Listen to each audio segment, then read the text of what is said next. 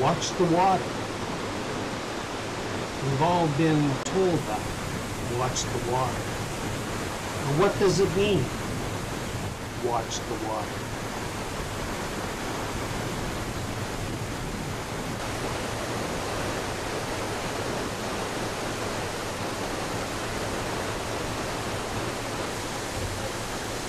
Watch the water.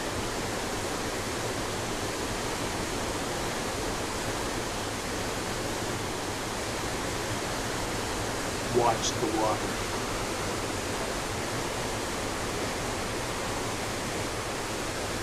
Watch the water.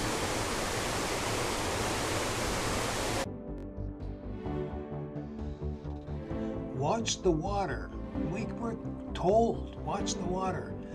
And when the boat parade started to happen, the magnificence, the splendor, the sheer numbers of the people that were involved, most of us thought for sure this must be what watch the water really means.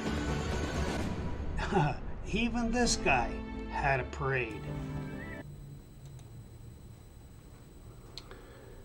Hi there, Neil Sperling here, the Twisted Light Worker. Bear with me, I'm just learning this new software. I've spent like close to eight hours putting the ideas to, together to do this video, and it's the first time that I've used this video, so if I make a few mistakes, bear with me. I'm just a beginner. I just recently been taken down from Facebook, Twitter, LinkedIn, and Minds. I had over 30,000 or approximately 30,000 contacts and all kinds over and above that in forums that I was very active in. So I've lost a lot of my work and so I'm starting all over with a new focus, a, a little bit of a, a different change. Right now, I'm looking for things that we can do, things that we can do that's outside the scope of seeking and searching for the truth and sharing it there's now time for us, uh, light workers and patriots and concerned citizens and digital warriors, to all take a different focus. My twisted light worker side of me comes from a past of all kinds of religious and spiritual and metaphysical and studies. I've been down all kinds of them from every church going. I've been a part of them I studied meditation since 1980, Toltec since about 82, 83.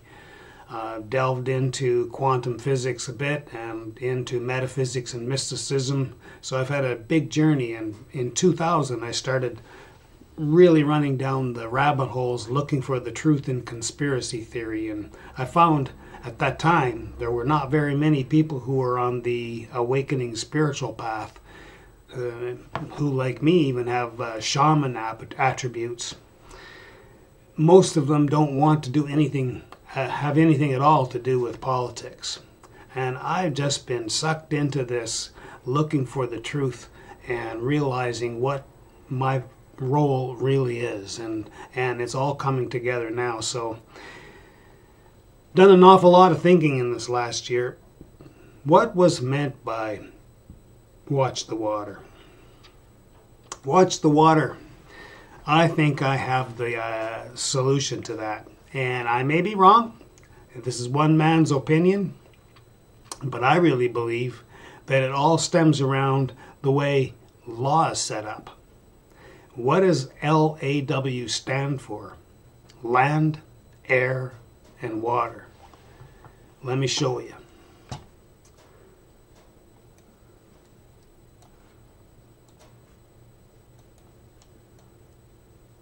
Well, we're getting there. One more step. There we are. That'll do. In the beginning, God, creative source or great spirit, whatever you want to name it, created the heavens and the earth. Then he created man and woman.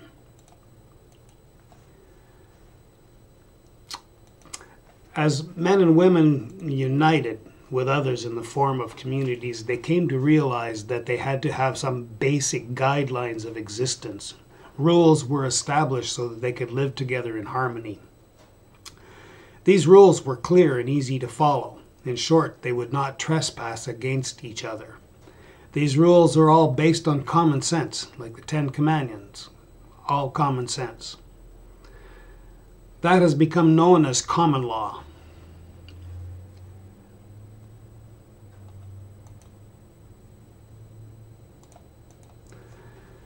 So, common law is just one step below God's laws. That is where men and women stand on the land under God's laws. That's the law of the land. We are very close to creative source. There's nothing between a man and a woman.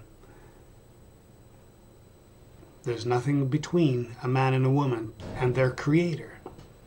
There's nothing in between.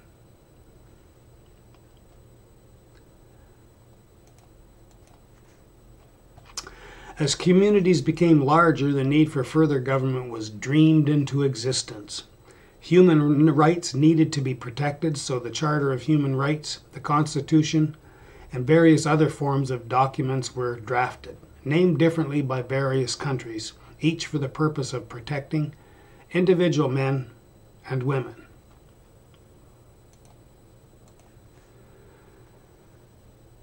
And that is admiralty law, law of the water. Law of the air, as I'm just a beginner in all of this, I believe this has to do with ecclesiastical law, which is all roads lead to Rome. And law of the air fits into that. And if it was done with compassion and done with connection to source and God and protection of men and women, then this law would be in line with common law, but it isn't. We all know that. It isn't. But here's the interesting thing here's the water, the law of water, admiralty law. When men and women learn how to apply common law and do it properly, follow the procedures of common law so that we can establish a public court, our court, because we are connected directly to source, our court. There's nothing between us and creative and our creator. We have all the power. So when we establish public courts through common law, then guess what? Even those members who are in the Supreme Court they have to bow down to us. That's right. That's right.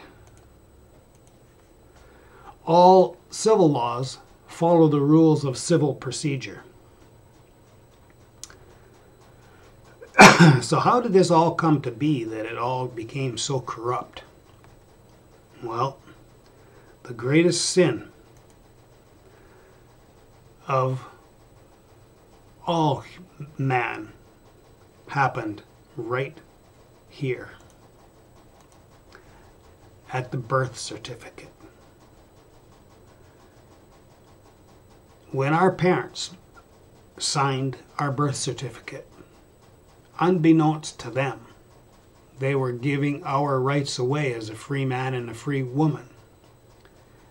And what was created was a person by the same name as your given birth man or woman name. If you notice that all documents coming from the government and public, things such as driver's license and health cards and uh, insurance and bank accounts and loans and mortgages, all of them, the names are in capital letters. Guess what? That's not you. That's the person, that's the entity that they made up. You are, therefore, owned by the service corporation, better known as the government.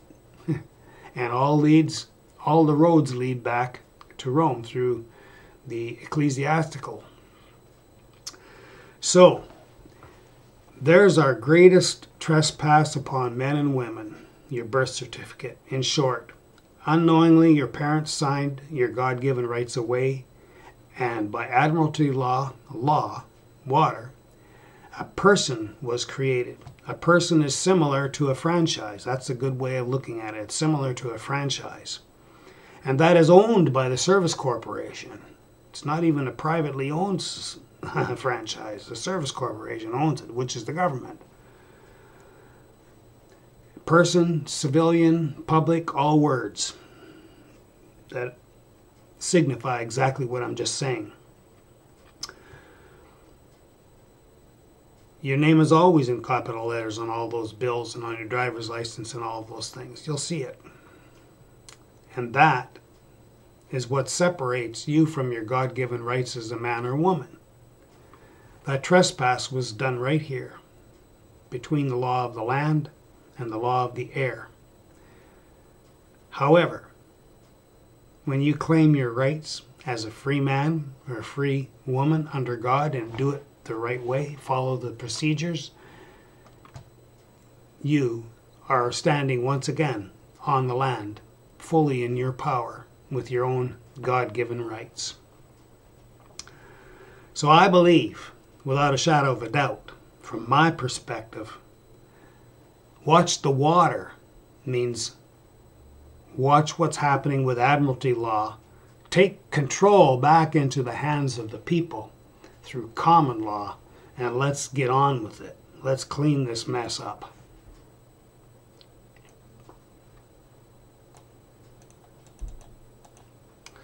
Oh boy, this is, where is that? There we are, finally. Doesn't click on it right away. That doesn't, doesn't make any sense to me. Anyway, I'll figure this program out sometime in the next three or four videos that I do. If you follow me, I'll have it a little bit more smooth and get it right. Have fun with it. Hopefully, even be able to do some um, video streaming through either YouTube or or Jitsi, Jitsi, J-I-T-S-I. So do some homework on common law. My suggestion would be to follow um, three different people that I can think of right off the top. One is a fellow by the name of Christopher James. You'll find him on the website at Warrior Calls. Then, if you do a YouTube search for Karl Lentz and also Anna von Reitz, those three people are filled with wealth of knowledge on common law. And right now, Christopher James is has eyes on him from all over the world because he's working through the procedures of proving that the rules of civil procedure do not apply to a man or woman and when that is totally put out got out of the out of the way that's when all kinds of indictments are going to happen and guess what here's the coolest thing we the people taking back our powers through common law. We're the ones that can put those indictments into action. We're the ones. So we are the ones we've been waiting for. I hope you enjoyed this video and if you uh, learned a little bit from this and want to support me, uh, buy me a coffee. I'll, I'll leave you the link in in the description below. And the four videos that I put together that got me knocked off of Facebook, Twitter, LinkedIn, and Minds. I lost over 30,000 contacts, and that's not very many compared to what other people have. Some people have lost close to a million or 600,000. And yet, it hurts. I'm starting all over, brand new. And uh, it's a fun journey because I've done it once and now I know I can do it. I can do it again. But at the same time, it's a, it's a challenge, and I, I really have my heart open for those who are before me who have lost 600,000 or 300,000 followers and having their channels taken down. I know what it feels like personally. So buy me a coffee um, and uh, look forward to talking to you again. Neil Sperling, the Twisted Light Worker.